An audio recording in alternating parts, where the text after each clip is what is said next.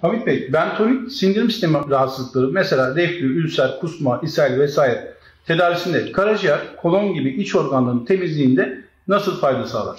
Yani bentonit bir kere önemli bir detoks argümanı. Bunu söyledik. Dolayısıyla karaciğerde, böbreğe de çok faydalı. Ama hastalık durumlarında enteresan e, işler yapmakta. E, özellikle mide bağırsak hastalıkları. Çünkü ben bütün mide bağırsak hastalıkları genelde e, midedeki bulunan helikobakter nedeniyle ya da enfeksiyonel maddeler nedeniyle oluşmakta. Yani hepsinin ağırlığı bakteri yükü aslında. Zararlı bakterilerin yapmış olduğu problemler, hastalıklar öyle diyelim. E, bentonit ciddi anlamda bu enfeksiyonları yok ettiği için mide ve bağırsak hastalıklarında önemli e, gastrit ve reflüda ve aynı zamanda ülserde çok ciddi tedavi argüman olarak bentonit kullanılıyor. Dünyada da kullanılıyor, ülkemizde de kullanılıyor.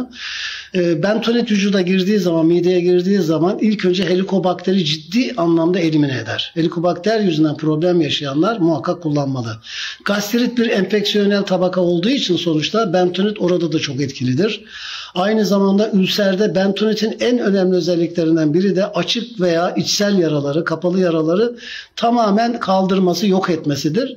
Ee, yara tedavisinde de çok kullanıldığı için bentonit içtiğiniz zaman eğer midenizde bir yara varsa bentonit o yaranın üzerine gidip topaklanarak, yapışarak o yaranın üstünü örtmekte ve mide öz suyu ile yani mide asidiyle temasını kesmektedir. Bu nedenle ülserlerde çok ciddi tedavi argümanı olarak kullanılır. Ee, bu tür problemi çekenler e, birer buçuk kaşıktan başlayarak ikişer kaşık, üçer kaşık, dörder kaşık bentoniti kullanmalılar. Bir buçuk iki ay civarında çok büyük bir dinginlik kazanır. Göreceksiniz o hastalığın artık vücutta hiçbir etki sağlamadığını e, ya da hastalığın yok olduğunu göreceksiniz.